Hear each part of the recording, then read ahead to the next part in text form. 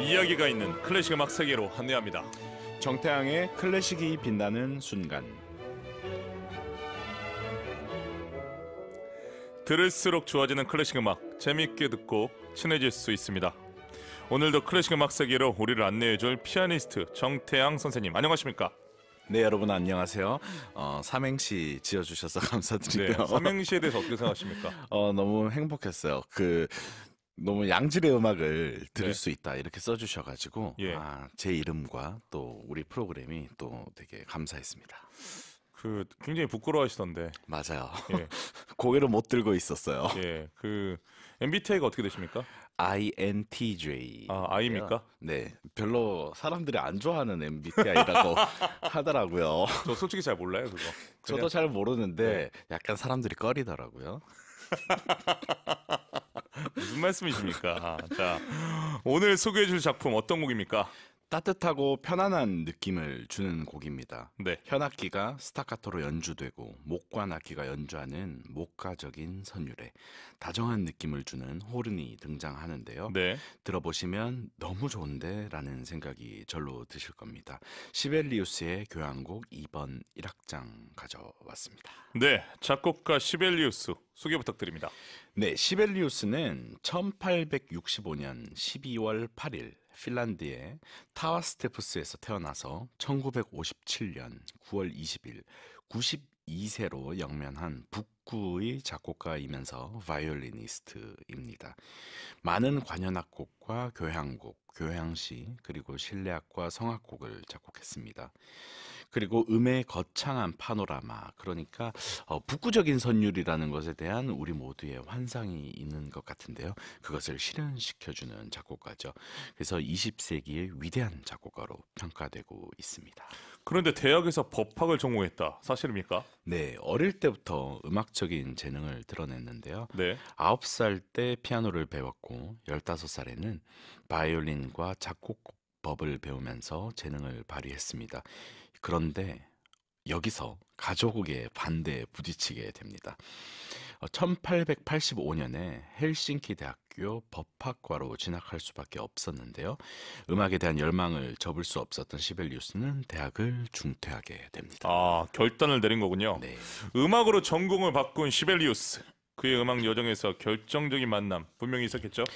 네, 이 유럽의 음악가들도 어, 부모님의 반대에 부딪혔던 사람들이 굉장히 많은 것 같아요. 예나 지금이나. 슈- 예나 지 느낌이나 그 네. 슈만도 그러했고 그리고 특히 이 시대 때는 왜 그렇게 다들 법학을 좋아했는지 모르겠어요. 아, 지금 우리나라도 그렇지 않습니까? 지금도 그렇긴 한데 네. 어, 이 시대는 다 법학이더라고요. 법학과 의학. 네, 맞아요. 그런데 어, 이 시벨리우스도 운명적인 만남을 하게 됩니다. 당시에 유럽을 대표하는 작곡가 페르초 부조니와의 만남이었는데요. 이 시벨리우스는 부조니의 인정을 받고 명성을 가지게 됩니다. 그리고 정부의 장학금으로 독일에 유학을 가게 되는데 이때 노년의 브람스를 만나서 격려를 받았다는 이야기도 있습니다. 독일로 간 두 번째 유학에서 돌아온 26세의 시벨리우스는 핀란드 명문가의 아, 야네펠트 가문의 딸 이노 야네펠트와 결혼을 하고요. 네. 2년 후인 1893년 헬싱키 음악원 교수 그리고 헬싱키 필하모닉 오케스트라에서 일을 하게 됩니다. 시벨리우스는 헬싱키 음악원 재직 중에 발표한 많은 작품들로 핀란드 국민의 추앙을 받았고요. 정부로부터의 연금도 계속 늘어나게 됩니다. 어. 그리고 그의 90회 생일에는 전국적인 행사로 축하를 했고 예. 1957년 온 국민과 세계의 악단이 애도하는 가운데 92세의 일기로 생애를 마쳤습니다. 장례식은 국장으로 치러졌고 기념 우표 발행 등 거국적인 행사로 애도했다고 합니다. 말 그대로 핀란드 국민 작곡가인데요. 시벨리우스 작품 중에서 가장 널리 알려진 작품 어떤 작품일까요? 네, 유명한 작품은 어, 핀란디아라는 작품이 있고요. 독보적이죠. 네, 핀란드의 정서를 그리고 국민성을 담아낸 작품으로 어, 핀란드의 거의 국민 작품이라고 해도 될 것 같습니다. 네. 그리고 슬픈 왈츠, 바이올린 협주곡, 그리고 카렐리아 몸곡, 어, 투오넬라의 백조 등이 있고요. 그 밖에도 그는 어, 카라발라의 영감을 얻은 작품과 일곱 개 교향곡, 또 100개가 넘는 가곡을 썼어요. 그리고 13개의 연극을 위한 반주 음악, 그리고 하나의 오페라를 썼고요. 현악 사중주를 포함해서 실내악 작품, 피아노 소품, 21개나 되는 합창곡집, 그리고 프리메이슨 예배 음악 등을 작곡했습니다. 그러니까 이분이 90세를 살다 보니까 상당히 많은 시기를 걸쳐서 살았어요. 부조니와 브람스도 만났었고, 음, 그런데 1957년까지 사셨으니까 음악의 장르를 굉장히 다양하게 다루셨던 것 같아요. 그리고 특히 이제 시벨리스의 작품에 나타나 있는 고국 핀란드에 대한 애국심과 북구적인 민족적인 특색은 어, 그 음악 작품의 골격을 이루면서 세계적인 주목을 받았습니다. 알겠습니다. 시벨리우스 교향곡 1번 차이콥스 영향을 받은 겁니까? 근데 이 교향곡은요 차이콥스키의 영향이 강했습니다. 그러니까 러시아도 좀 위에 위치해 있는 나라고 이 핀란드도 어, 위쪽에 위치해 있잖아요. 그래서 그런지 모르겠지만 어, 이- 어, 러시아 작품의 영향을 받는 경우가 당시에 조금 있었는데요. 이러한 현상은 당시 후기 낭만주의 또는 국민 악파와의 공통점이라고 할 수 있습니다. 그러나 음악원을 졸업하고 외국에서 유학을 하는 사이에 조국의 전통 문화가 정말로 뛰어나다 이런 생각을 음, 하게 됩니다. 그리고 핀란드 민족성의 근간이라고 할 수 있는 칼라발라라는 영웅 시가 시벨리우스의 예술적인 소재가 되었습니다. 그래서 이 시벨리우스는 외국에서 유학을 마치고요. 귀국해서 이 칼라발라를 소재로 한 작품으로 핀란드 악단에 데뷔를 했고 높은 예술성으로 러시아 압정에서 신음하는 핀란드 국민의 애국 독립 열정을 높였고 그럼으로 인해서 핀란드 국민의 사랑을 받게 되죠. 그 작곡가들도 국민적 사랑을 받게 되기까지는 약간 어떤 소스가 필요한 것 같다는 생각이 들어요. 하지만 시벨리우스는 이에 만족하지 않고 신중에 신중을 거듭해서 이를 더욱 승화시켜서 그의 음악 작품의 중심 주제로 삼았습니다. KBS 교향악단 상임 지휘자도 맞아요. 인키는 맞아요. 핀란드 사람 아닙니까? 맞습니다. 핀란드가 클래식 음악 강국으로 지금 부상을 하고 있는데요. 네. 그 이유는 뭐라고 생각하세요? 어, 저도 이걸 찾아봤고 네. 우리가 지휘자 중에 정말로 유명한 지휘자 중에 핀란드 출신이 많다는 거는 모두가 알고 있잖아요. 그런데 이 핀란드라는 나라의 우수한 음악 교육 시스템이라고 합니다. 핀란드는요 재능이 있는 사람을 발굴 육성할 수 있는 시스템이 있고 아주 작은 어, 시골에도 수준 높은 음악 교실이 있고 누구나 레슨비 걱정 없이 대학까지 무료 교육을 받을 수 있다고 어. 합니다. 그리고 음악가들의 생활이 안정되어 있기 때문에 주저없이 음악가의 길을 선택할 수 있다고 하네요. 그리고 국가의 지원이 있는데요. 핀란드에는 오케스트라 법이 있다고 합니다. 1993년에 제정된 이 오케스트라 법은요. 일정 요건을 갖춘 오케스트라는 예산 중 25%는 어, 중앙 정부로부터 60% 이상은 지방 정부로부터 각각 지원을 받으니까 어, 좀 더 활동을 어, 활발하게 할 수 있는 거겠죠. 그리고 음악 교사를 육성하는데도 굉장히 열심인데요. 어, 이 교사를 육성하는 과정 자체가 여러 음악 학교의 가장 중요한 기능이고 학생들은 초등학교 때부터 악보 읽기를 배운다고 합니다. 그리고 사회에서도 교회와 합창단 등을 통해서 누구나 노래를 할 수 있는 그런 친숙한 환경에서 자라난다고 합니다. 그리고 이 나라에 문화 축제가 300 여 개나 된다고 합니다. 그래 그리고 제가 듣기로는 이 핀란드의 공연장에는 항상 관객들이 가득하다고 하더라고요. 우리나라 축제는 뭐 비교할 수 없이 더 많거든요. 아 그렇군요. 5만 개가 넘을 겁니다. 그래요. 예. 그런데 저는 축제 물론 인구수가 음, 음, 음, 다르니까 맞아요. 축제 숫자를 떠나서 지금 포인트가 음, 음악가들의 생활 네 그리고 교육까지 무료 맞아요. 안정적이다. 음. 이 부분 첫 번째 포인트고 또 두 번째는 이 오케스트라 법 말씀을 하셨는데 오케스트라 법이 이렇게 안정적이면 음. 합창단이나 다른 오페라나 네. 구조도 좀 탄탄할 거예요. 그렇죠. 예, 이렇게 지금 예산을 중앙 정부로부터도 25% 받고 지방 정부로 60% 받는다. 그러면 결국 85%, 15%만 자립하면 되잖아요. 맞아요. 와, 맞아요. 이거는 15%는 이제 흥행으로 이제 예. 처리할 수 있겠죠. 15% 흥행 안 해도 돼요. 85% 그냥 기본만 네, 재정이 돼, 이게 허락해 주면은 음악에만 집중할 수 있죠. 맞아요. 그리고 지금 말씀하신 300개의 문화 축제를 유지하는 비결이라고 했는데 음. 가장 부러운 거는 늘 공연장을 채워주는 열정적, 열성적 청중 덕분이야. 청중들이 청중들이 많다고 들었어요. 야. 그리고 이 지역들에도 어, 오케스트라들이 그래서 수준이 정말 높다고 하더라고요. 그러니까 이게 결과적으로는 B2C 시장이 된다는 얘기인데 네. 우리는 이 축제 지역 축제 가 보면 네. 솔직히는 문제가 많습니다. 지역 축제에 갔을 때 그 서울에서 유명한 가수만 데리고 와가지고 지역 사람들이 소외된다. 네. 또 지역에서 했을 때 실제로 축제가 활성화되지 않았는데 했다라는 서류를 증빙한다. 이런 부분들이 문제가 될 때가 있거든요. 제가 너무 심각합니까? 예. 너무 웃으시는데? 예. 넘어가도록 하겠습니다. 여하튼 부럽다라는 게 결론입니다. 부럽죠. 예, 그리고 우리가 발전했으면 좋겠다. 저도 핀란드 친구들이 조금 있어요. 아, 그렇습니까? 핀란드 친구 중에 이름이 어, 뭡니까? 클라우스 메켈라라는 지휘자. 지휘자가 있어요. 네. 근데 그 벌써 10년도 더 됐을 아니 지금. 맥켈레는 친구인 아, 거예요? 원래 친구예요. 근데 연락합니까? 지금은 연락하기가 힘든 사이가 됐죠. 그, 그 친구가 원래 첼리스트였어요. 맞아요. 네네. 그래서 저랑 같은 이제 실내악 코스에서 이렇게 공부를 하고 이야. 그런데 아, 이 친구가 너무 재능이 특별하다 이런 생각을 했거든요. 근데 어느 날 지휘자가 되더니 오슬로 필하모닉 지휘하고 그리고 지금 뭐 파리 오케스트라 지휘하고 또 시카고 심포니까지 계약을 했다고 하더라고요. 이제 연락을 할 수 없는 사이가 아, 되었지만 왜 연락을 해야죠. 무슨 말씀이십니까? 우리는 정창이도 중요한데 그렇죠. 맥켈레가 누구죠?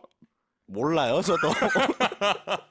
근데 어 뭐라고 할까? 정말 재능이 음. 좋은 친구인데 이 첼로를 할 때부터 그 열정이 이렇게 식지 않도록 뭔가 굉장히 잘 관리받으면서 자랐다는 느낌이 강했습니다.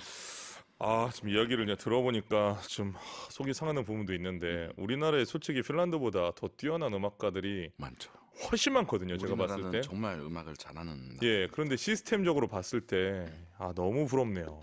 저도요. 이 이야기를 좀 들어보니까, 네. 야, 또 한편으로 그런 생각도 들어요. 우리가 이런 더 척박한 환경에서, 그러니까 여기는 약간 비닐하우스 아닙니까? 맞습니다. 근데 우리는 광야니까 우리가 살아남는 건 약간 좀 뭐랄까 독하게 살아남을 수 있는 거고 여기는 지금 있죠. 커리큘럼대로 자 다시 넘어가겠습니다. 자 시벨리우스의 교향곡 2번 1악장 작곡 언제 한 겁니까? 네, 1901년에서 1902년 사이에 작곡되어서 완성된 교향곡인데요. 네. 베토벤의 6번 교향곡에 빗대서 시벨리우스의 전원 교향곡, 핀란드의 전원 교향곡으로 불리는 작품입니다. 하지만 이 곡을 작곡할 당시에 시벨리우스의 상황은 그렇게 좋지가 않았어요. 우선 청력 문제가 그를 괴롭히고 있었습니다. 귀가 점점 좋아지지 않았고요. 재정 상황도 좋지 않았다고 합니다. 그리고 처제가 세상을 등진 사건도 이 곡을 작곡하던 때 있었던 일입니다. 음, 그런데 시벨리우스의 일곱 개의 교향곡 중에 가장 인기 있는 이 교향곡 2번은요. 시벨리우스의 애국심이 반영된 곡이라고도 하고 또 어떤 학자들 사이에서는 반대 의견도 있습니다. 이 작품을 쓰던 당시에는 시벨리우스가 민족적인 정서에 조예가 깊지 않았다는 이유인데요. 참고로 시벨리우스 본인은 이 곡을 두고 나의 두 번째 교향곡은 영혼의 고백이다라는 아. 말을 했다고 합니다. 음, 좀 편해했네요. 편한 것 같아요. 그렇죠. 자, 이 곡의 특징 어떻습니까? 네, 이 후기 낭만주의라고 할 수 있어요. 그런데 거대한 편성, 복잡한 전개, 연주 시간이 한 시간이 넘어가던 대작 교향곡이 넘쳐나던 때입니다. 그래서 이 후기 낭만주의의 음악들을 들으면 지금도 저희도 아, 조금 힘들 때도 있는 것 같아요. 그런데 거기에 비하면 좀 소박한 편성, 단순한 전개, 아름다운 멜로디를 가진 어, 상대적으로 듣기 쉬운 곡입니다. 이 점이 시벨리우스가 20세기 작곡가들 중에서 대중적인 인기가 조금 높은 이유이기도 한 것 같습니다. 음, 그렇다고 해서 절대 뻔한 곡은 아니고 형식적으로 어, 그만의 독창적인 기법들도 제법 찾을 수가 있습니다. 연주 시간은 약 45분 정도가 됩니다. 알겠습니다. 시벨리우스의 교향곡 2번 1악장 어떤 매력이 있다고 개인적으로 생각하십니까? 네, 우리가 저희 방송에서도 항상 교향곡 하면 어, 러시아 또 슈만, 독일 이런 작곡가들을 소개시켜 드렸고 네. 또 어쩔 때는 어, 미국이나 영국의 관현 악곡도 소개를 시- 시켜드린 적이 있는데요. 어, 이 시벨리우스 교향곡 2번은 어, 그것들과는 또 다른 새로운 면모를 보이는 것 같아요. 마치 어, 비장한 선율이 어, 이 핀란드라는 나라의 추운 느낌 음. 그런데도 어, 우리가 아직 가보지 못한 나라의 느낌 그런 정서를 주는 것 같고요. 또 들어보시면 어, 굉장히 소박한 느낌이 드는 것들은 핀란드의 자연과 민요 스타일을 담고 있다고 할 것 할 수 있을 것 같습니다. 그리고 전원 교향곡이라는 이름이 붙어 있잖아요. 네. 전원 교향곡이라고 하면 어, 뭔가 목가적이고 뭔가 정말로 들판이 펼쳐져 있을 것만 같은 그런 풍경을 선사해 주는데 어, 핀란드에서 바라보는 그런 느낌은 어떤 것인지 찾아보실 수 있을 것 같아요. 자, 이제 감상하기 바로 직전인데요. 네. 감상 포인트 있습니까? 어, 처음에는 어, 조금 혼란스러운 느낌도 드실 수 있을 것 같아요. 목관 악기들이 막 연주되고 또 현악기가 따라가고 그리고 조금 우울하다는 느낌도 받으실 수 있고요. 그런데 어, 그 와중에서 평온한 어, 평원 평원을 찾아보셨으면 좋겠습니다. 자, 어떻게 오늘 지휘자 맥켈레입니까? 아 메켈레 아니고요.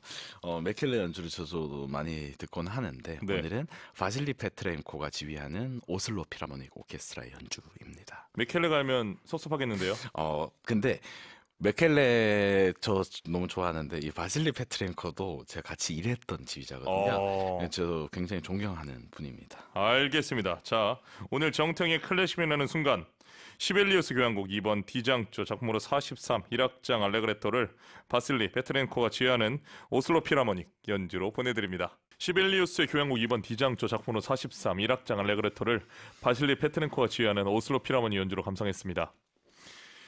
바실리 페트렌코와 지금 어떤 인연입니까? 아까 그 메켈레는 네. 같이 공부를 했다. 네. 예.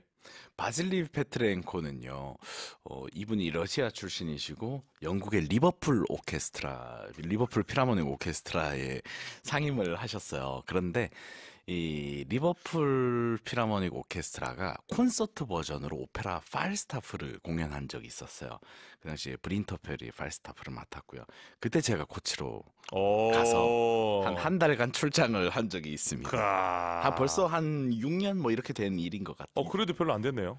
6, 6년 7년 된 것 같은데 그래서 음.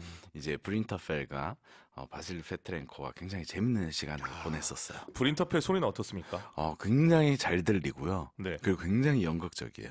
그리고 음. 사람이 또 따뜻합니다. 연극적이다. 네, 너무 재밌어요. 그래서, 그래서 이 팔스타프라는 오페라도 제가 공연을 막 만들어 놓고 이제 공연 날은 저는 객석에 있었거든요.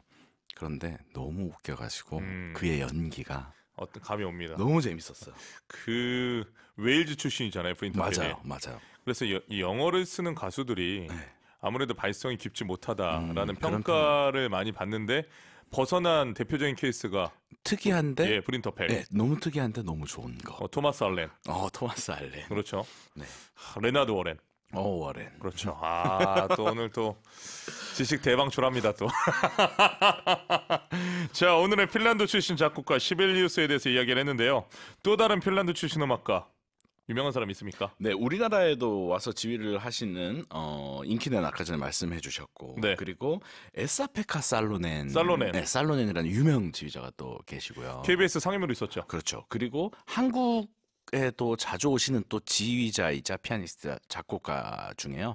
랄프 고토니라는 분이 계세요. 음, 그래서 랄프 고토니도 굉장히 유명한 핀란드의 저명한 음악가 중에 한 명이죠. 자, 같은 유럽이지만 핀란드 음악과 서유럽 음악은 분명한 차이가 느껴집니다. 그 차이 어떻게 생각하세요? 그래서 저도 생각을 이, 이 문제를 작가님이랑 이야기를 하면서 어, 음악이란 개인적인 것일까? 아니면 이 국민성에서 비롯되는 것일까? 어, 당연히 사람마다 의견이 다르고 시각이 다르고 또 정의하기는 참 어려운 것 같은데요. 어, 예를 들어서 정경 교수님이랑 저랑 어, 두 명이 함께 공유하는 이 국민적인 정서가 분명히 또 있을 거고요. 당연하죠. 네, 그러면서도 그 안에서 우리가 개인으로서 이렇게 성장해온 또 배경이라는 게 존재하는 거잖아요. 그래서 이게 혼재돼 있을 것 같다는 생각을 해요. 근데 북유럽의 음악은 어, 보편적으로 뭔가 이렇게 라인이 굉장히 크고 또 규모가 크면서도 또 어쩔 때는 굉장히 따뜻하고 이런 면을 담고 있다고 말하기도 하죠. 음, 제가 봤을 때 유럽의 음악들은 좀 복받은 것 같아요. 왜요? 왜냐하면 전쟁이 그렇게 많았는데도 네. 보존이 됐잖아요. 어, 소실되지 않고. 저는 그 부분이라고 생각을 합니다. 음. 정말 조상들을 잘 만났어요. 갈 때마다 느낍니다, 유럽. 아, 예.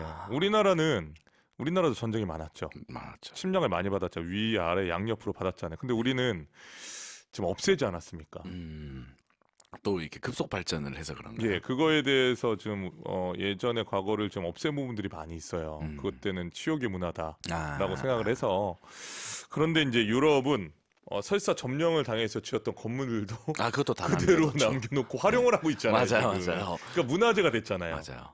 그 특히 로마 같은 데도 가면 음. 정말 그냥 머리가 어지러울 정도의 그 과거의 흔적들이 남아 있는 도시잖아요. 저는 아, 이 한 나라의 수도가 이렇게 빌딩도 없고 옛날 거 그대로 남겨놓는. 근데 그 나름대로의 정말 큰 가치가 있는 것 같아요. 조금 더 깊게 얘기를 하면은 이 오늘 소개한 시벨리우스도 네. 작곡을 잘했으니까 음, 핀란드가 남는 거지. 그렇죠. 저는 시벨리우스보다 네. 더 핀란드를 사랑하는 작곡가가 있다고 생각을 합니다. 있었겠죠. 있을 수 있어요. 네. 그러니까 결론은 뭐냐? 곡을 잘 쓰면 음. 거기에 이제 여러 가지 아이디어들이 들어가는 거예요. 그렇죠, 아, 뭐 그렇죠. 혹시 민족주의가 아닌가? 어, 개인적으로 이 사람이 어떤 사람인가? 그렇게 얘기하지만 실질적으로는 곡을 잘 작곡하고 음, 작품이 살아남으면 그렇죠. 거기에 있어서 이제 스토리가 또 그렇죠. 남죠. 해석이 남지 않나 네. 그런 생각을 조심스럽게 해봅니다. 자 오늘 정태양의 클래식이라는 순간 시벨리우스의 교향곡 2번 1악장을 소개했습니다. 다음 주 어떤 작품입니까? 다음 주도 바이올린 작품을 준비했습니다. 네 작곡가는 엠버거입니까? 어, 네, 엠바고입니다. 알겠습니다. 자 다음 주 작곡가 바이올린인 것까지만 저희가 알게 됐는데 다음 주 작곡가는 누구인지 몹시 궁금해하면서 일주일을 지내도록 하겠습니다. 네, 알겠습니다. 그런데 일주일이 벌써 됐어요. 그러니까요. 아, 그저 항상 아까 하는 스튜디오에서 얘기가 들어오시는데 깜짝 놀랐어요. 벌써 화요일이 됐나? 어제 만난 것 같은데. 그렇죠. 이게 요즘 따라 더 일주일이 빨리 가는 것 같습니다. 아니 지난주에 마- 나눴던 대화가 생생한데 그렇죠. 오늘이라니까 야 우리는 타임머신을 타고 살고 있는 것 그런 것 같습니다. 같아요. 자 한 주 동안 건강하시고 네, 여러분도 건강하시고 행복한 한 주 보내십시오. 다음 주 작품 기대하겠습니다. 네, 감사합니다. 네, 안녕히 들어가세요. 네. 이번에 들으실 곡은 우리 가곡입니다. 서정주 씨, 김주영 곡 연꽃 만나고 가는 바람같이 소프라노 이혜원이 연주합니다.